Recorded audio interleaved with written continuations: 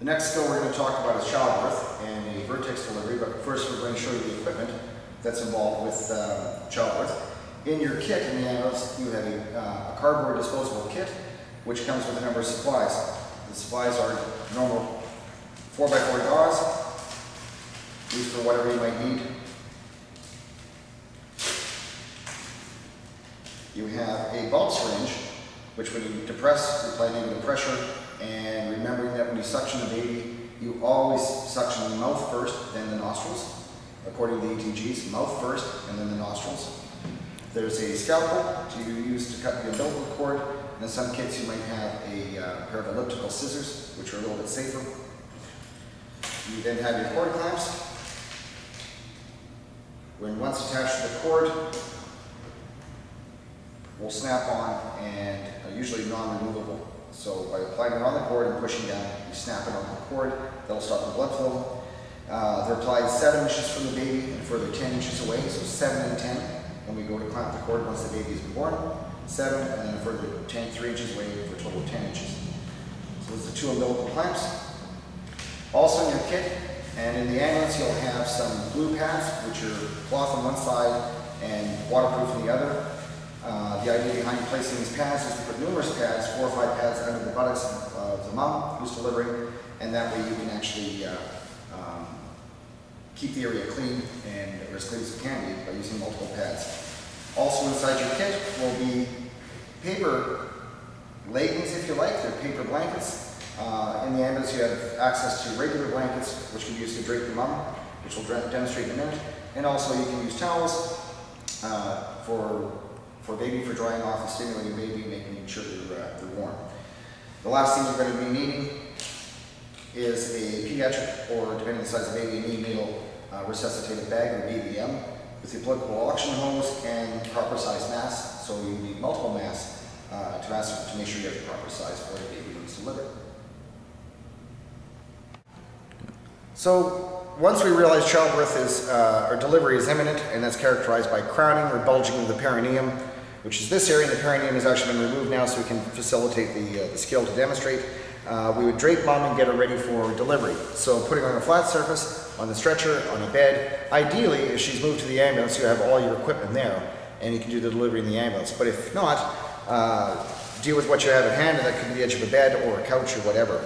The first thing after you've removed all undergarments, make sure that you cover mom uh, to give her a modicum of respect and decency. Don't strip all her clothes off, put a blanket over top of her.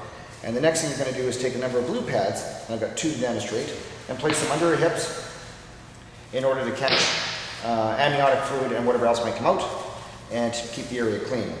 We can then use the paper towels for demonstration, and I'll use towels for demonstration to drape one across mom's leg. So we've got one over the area there.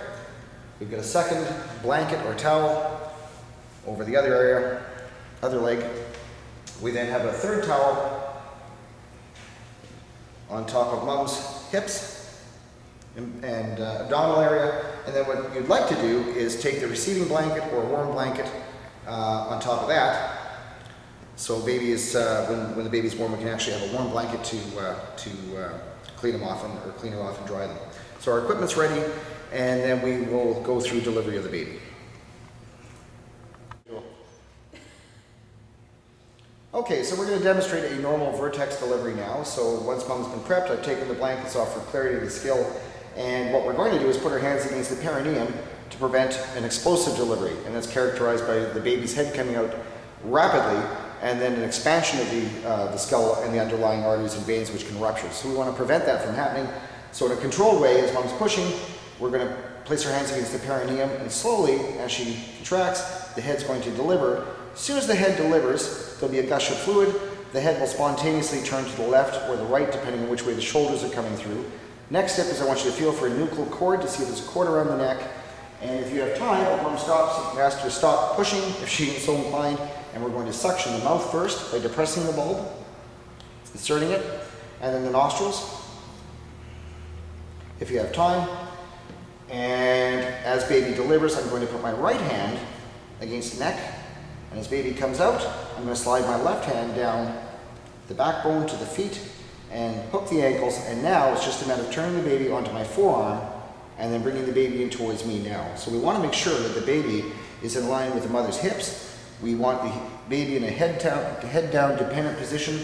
And at this point, we can then, again, suction if required, depress the bulb syringe, mouth, nose, and from there, we can actually take the baby up onto the receiving blanket and start to vigorously dry off the, the baby uh, to stimulate them.